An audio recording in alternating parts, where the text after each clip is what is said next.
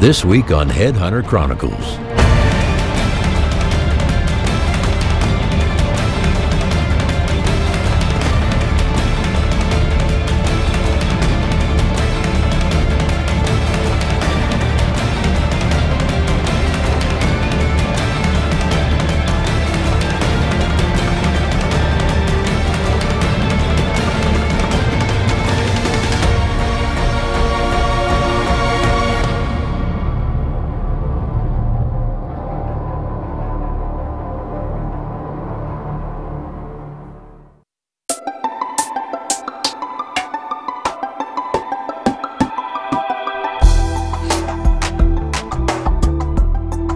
This week on Headhunter Chronicles, Jason is in South Africa going for the Springbuck Challenge. His goal is to try and get all four of the subspecies down on one trip.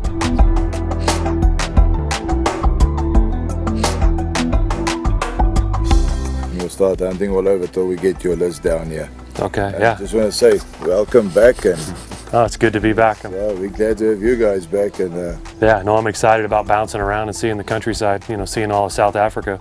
it's So- just experience some different, different weather too. Yeah.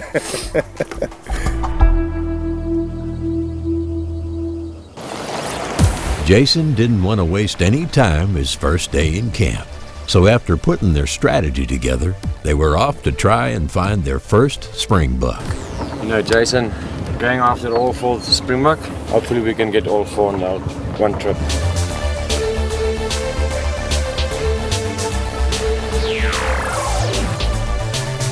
After a little riding and glassing, they spotted their first group. Gideon told Jason he thought there was a shooter in the group, so they hopped off the truck and started that way to see if they could sneak up on him and get a closer look. yeah they're 195.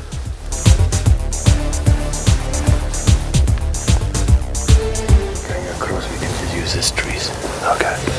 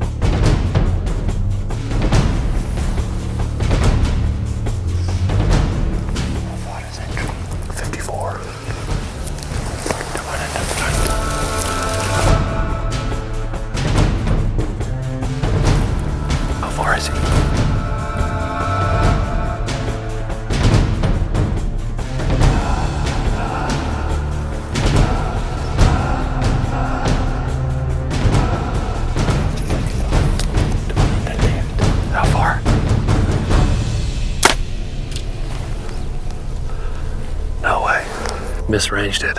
We're gonna go look at the arrow right now. The rangefinder hit some grass, and I, I, I thought they were. He said he called out 35, and I knew they were a little bit further than that. So I tried it anyways, and I'm fairly certain we missed. But let's go try it. See if we can find the arrow. They might not have went far.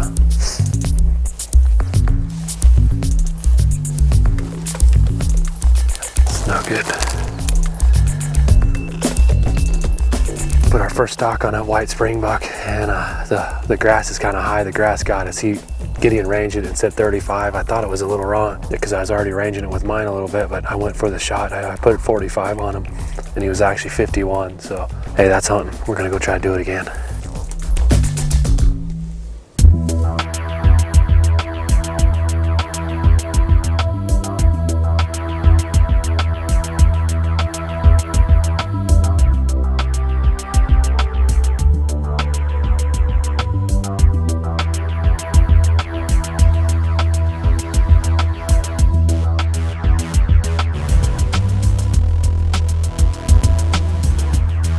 After jumping back in the truck and covering some more ground, they spotted another spring buck. We'll drive like that, see if we can, how close we can get. Okay.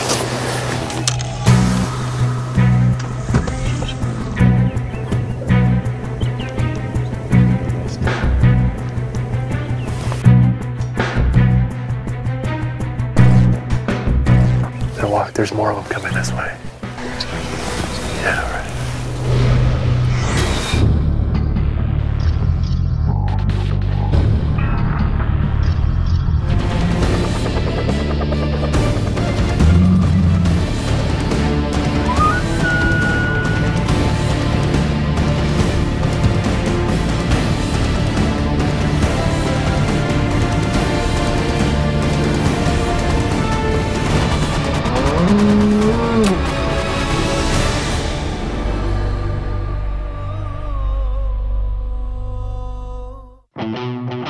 How does Elite Archery build the most accurate bows in the industry? It all starts with innovative design and comes together by using the best materials available. Add the revolutionary two-track cam system and you've got the smoothest draw, highest let-off, and a rock-solid back wall, all backed by the industry's only lifetime fully transferable warranty. That's how Elite Archery delivers the most accurate bows in the business. See what the excitement's all about today at your local Elite dealer. This segment is brought to you by Epic Broadheads, performance, penetration, and a payday for your taxidermist.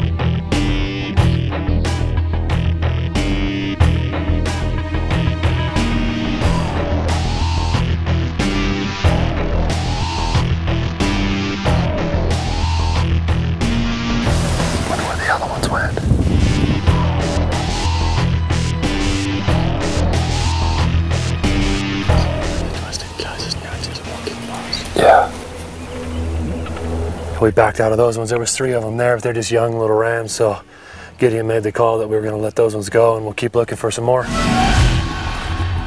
With the day warming up, Gideon told Jason that these springbuck were hitting this water hole pretty steady, so they decided to give the blind a try. Jason, we do some good stalks this morning. I haven't saw what we want. Anyway, I gave some good pictures here from Springbuck in this blind.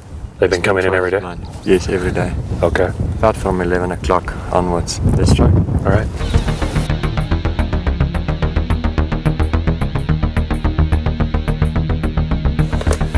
This is pretty cool. They got this thing set up like a little ant hill. They've got some feed out. These springbuck have been coming into some feed, so kind of excited to sit in here this afternoon and see what comes in.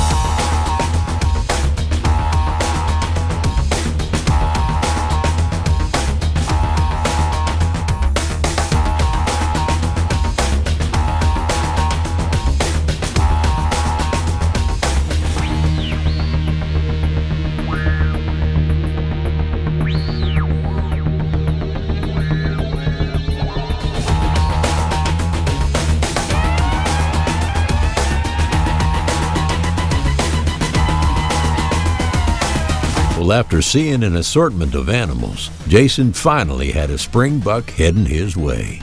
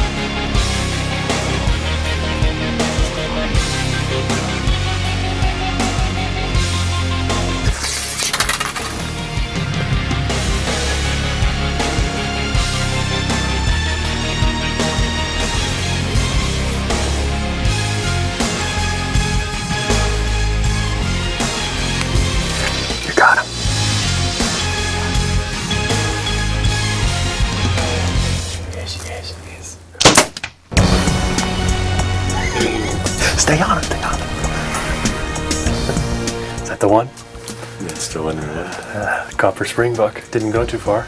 We shot him at about 18 yards and the arrow's laying at 39 yards. Looks like the Epic Broadhead did his job. The truck just got here. They kind of call it blind discipline. You don't want to get out and make a bunch of action and noise around here. Don't want the animals getting used to a lot of activity around the blind.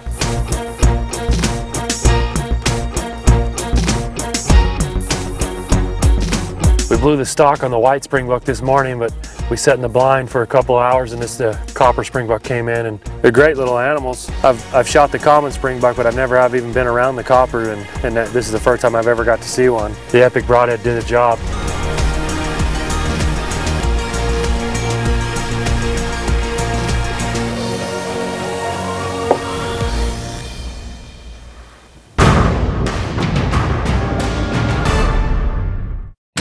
Mossy Oak started in West Point, Mississippi just 25 years ago. This is home. It's like Mayberry. Everybody knows everybody. Oh, it's Mayberry, all right. Nobody gets in a hurry around here unless it's hunting season. I've been cutting them boys' hair for 25 years, and I'm still cutting. We got to charge old cuz double because his head's so big. Those guys at Mossy Oak, they know how to tear up a truck. It always gets worse during hunting season. Man, the turkeys are gobbling. You got any shit? The more things change, the more they stay the same. Got you covered, Barney. Let's go.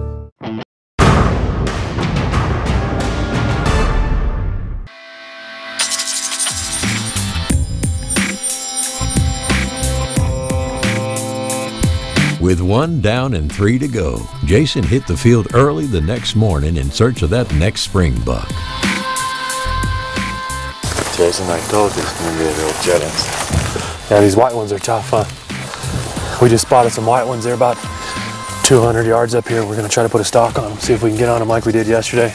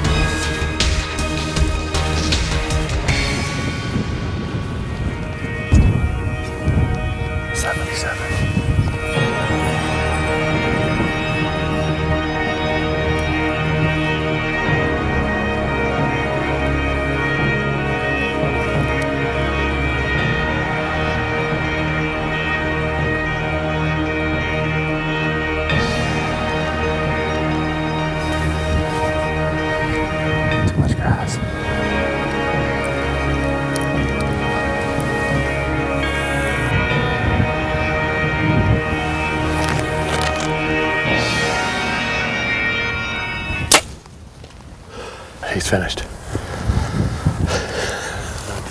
We got our white springbuck, pretty tough little stock. We've been playing cat and mouse with him all morning, and uh, we tried yesterday and missed a shot, and then we got a shot off right now. It's about 50 yard shot, and it looks like I shot it a little bit low, but I, think it's going to be okay. We're going to go find the arrow, find some blood, and give him some time. Standing right in here somewhere, but I'm going to try to look for the arrow. Yesterday, that arrow went at like another 29 yards, so who knows how far that arrow went. Here it is.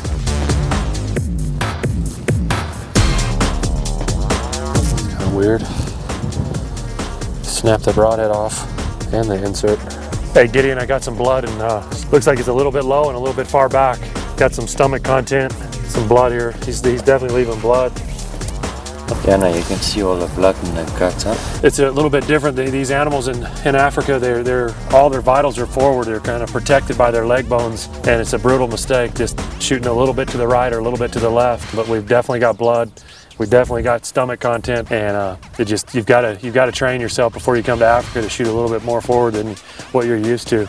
It, it just it just happens. We're not going to let this guy get away. Well, we're going to give him some time, and we will find him. Down at? You see that thick green tree? Yeah. The big one straight like this. Yeah. Go down over him. You just see the ones.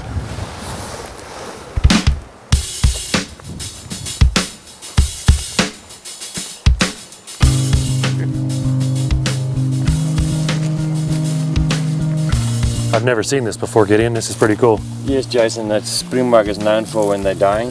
They get this hair all straight up. Call it like they pronk. They pronk? Yes. Okay. That's how they impress females when they get to mating. Pull their backs in like this and this hair come up straight. There's a sweet smell in here. You can actually smell in here. Yeah. That's where their scent glands all down through here? Yes, and you can see all, you can see the color of the sending right there. Yeah. That's actually where they got their name from, is the springbok. The way they pull their backs up like that and they Uh-huh. just jump, jump, jump to impress the females. So when they, they, they do, this comes up and then they do that little, actually they spring up and actually arch their back. Yes. And that's just for impre- to impress them. Yes. Well, we got our white springbuck. Um, he didn't go maybe 150 to 200 yards and lay down. He didn't suffer a long time. That's the main thing. You, you hate to wound an animal and you hate to have him suffering. So it's just uh, good to have him down. And now he's coming to America.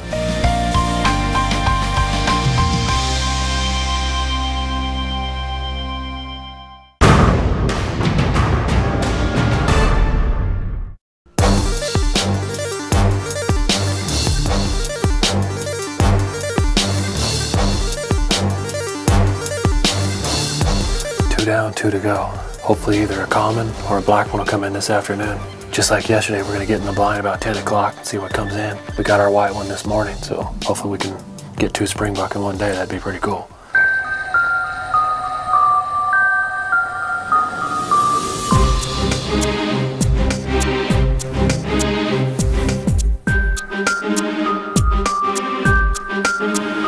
There's two black ones.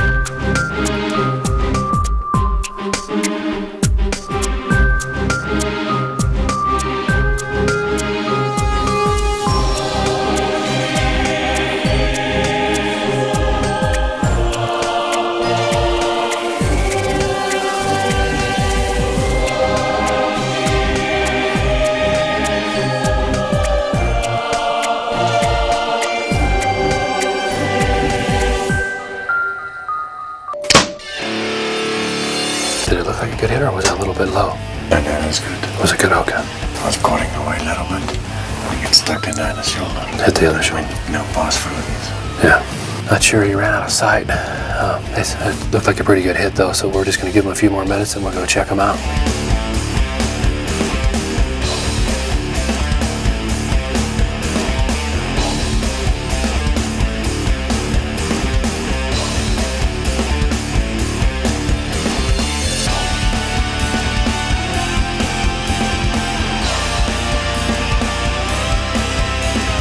That's a nice springbuck, huh?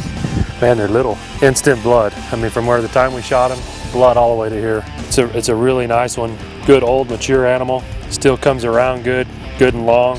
And he's got a white face, really cool little white face on him. One more to go. We got the common to go. And I can't wait. We got two in one day. I can't believe it. I never would have thought we, we'd get one. And we got the white one this morning on spot and stock. Got in the blind this afternoon and got a black one.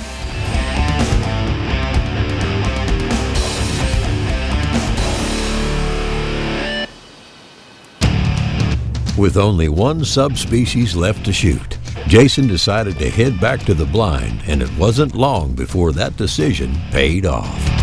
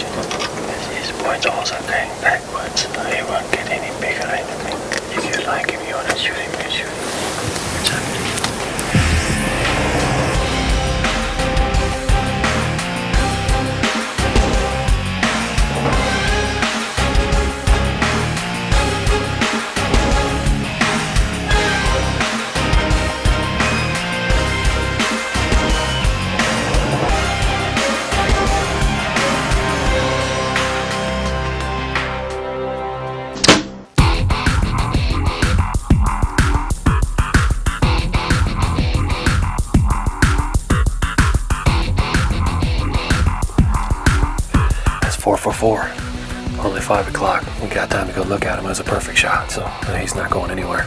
As soon as he turned, he had blood all over his backside, so he's good to go.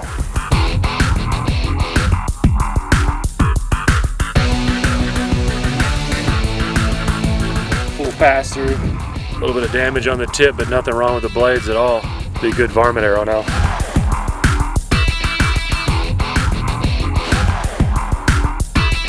That's four for four. Three in one day. White springbok this morning on spot and stock. Went and set in the blind this afternoon. Got our black one. And then this evening we shot a common. So he's the biggest one so far, huh? I'm just glad we got all four of them. Yeah, and for me, as you have the common, and it's the last one of the four, and for me, they still stays the prettiest of all of them. It's got all the markings on the face, on the tail. Just when they stand out in that open grassland, they, they're pretty impressive. Hey, we got our common springbuck. That finishes our springbuck challenge here in the Northern Cape of South Africa with Watts Trophy Hunting.